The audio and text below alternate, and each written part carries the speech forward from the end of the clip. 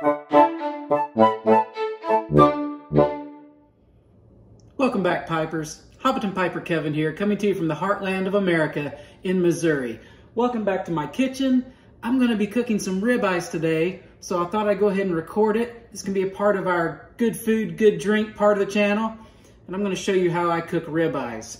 So before we get started, let's go get a good drink, because you know I can't cook without a good drink.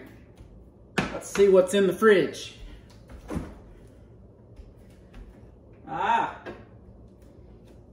So these just came out. Have you ever had, yes, I'm barefoot by the way. I'm a hobbit. Have you ever had Samuel Adams Oktoberfest? These just hit stores here in Missouri. Uh, they usually come out late August and then they'll be around till they sell out very early November. So this just came out. I picked up a six pack and let's give it a try. Where's my bottle opener? I don't think these twist off. No.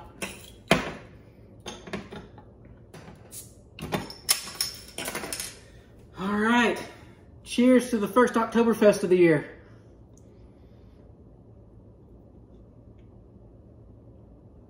Mmm. I really like this one. Okay. Now, at some point, I will cook fillets with you and I'll show you how I prepare I, how I prepare a fillet. But today I'm going to prepare these ribeyes, and really you don't have to do anything to them. You could literally just put them on the grill like they are, and it would be great. But I'm going to try this just smoky dry rub that I have, and I'm going to put that on both sides. I'm not even going to put any oil down on these because ribeye is such a fatty cut of meat that it usually has plenty of natural oils on it to hold the seasoning.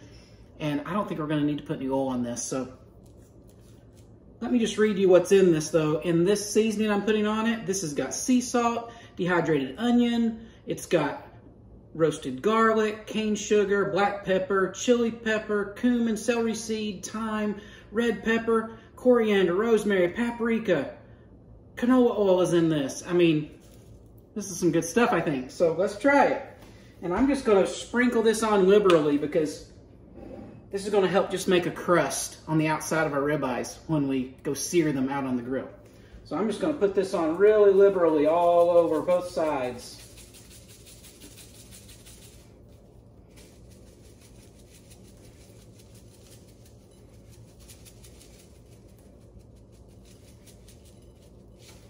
Just like that and then I'm gonna flip them and do the same thing on the other side.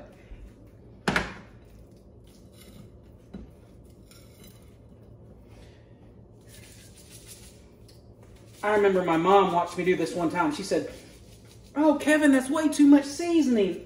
I'm like, no, you gotta trust me, mom.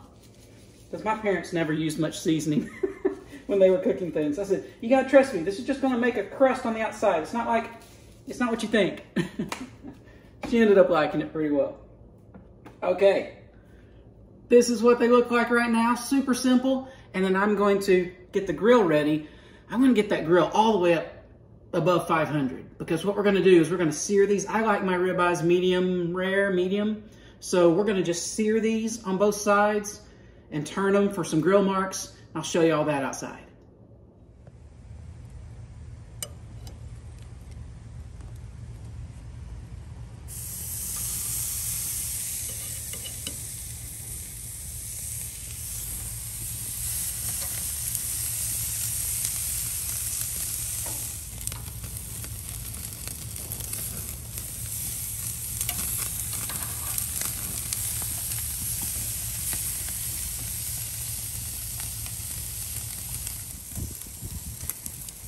Now, if you want crisscross marks, you got to turn them at this point, like this.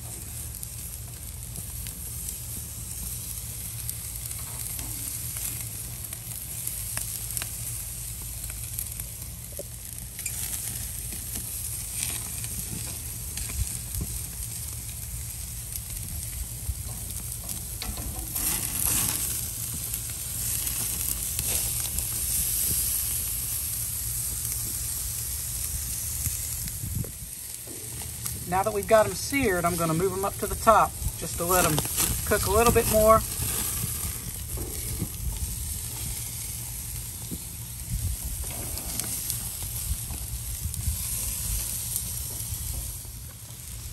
Really, at this point, it becomes a matter of experience. You just have to know exactly how you like your steak so that you know when to take it off. But I think the grill marks came out great.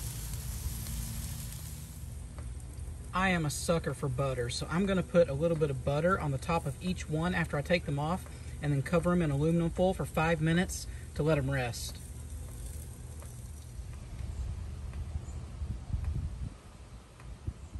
I also wanted to show you that I did pick up a Pinot Noir. This is that Prophecy brand that I like. It's just a low to mid-range wine that are available here in our local supermarkets, but this is a Pinot Noir 2019. I like the artwork on these labels. and this will go good with the ribeye.